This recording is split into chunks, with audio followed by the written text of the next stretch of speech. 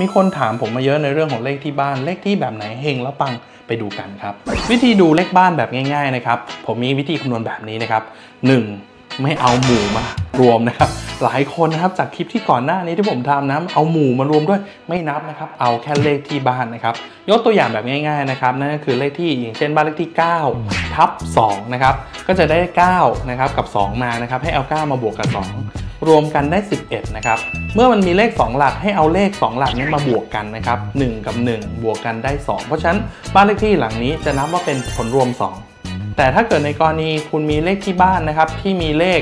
ยาวหน่อยอย่างเช่น 1 2 3ทับ5 6 สมมุตินะครับ 1 2 3ทับ5 6 1 2 3เนี่ยรวมกันมันได้ 6 นะครับ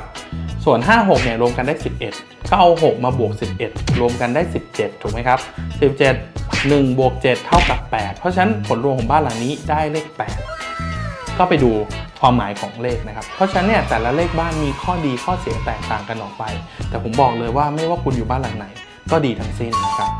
ถ้าไม่อยากพลาดเรื่องฮวงจุ้ยดีๆ อย่าลืมกดติดตามอาจารย์แบงค์ฮวงจุ้ยวันมินิทแค่ปรับชีวิตก็เปลี่ยน เจอกันใหม่ในคลิปหน้า แล้วเจอกัน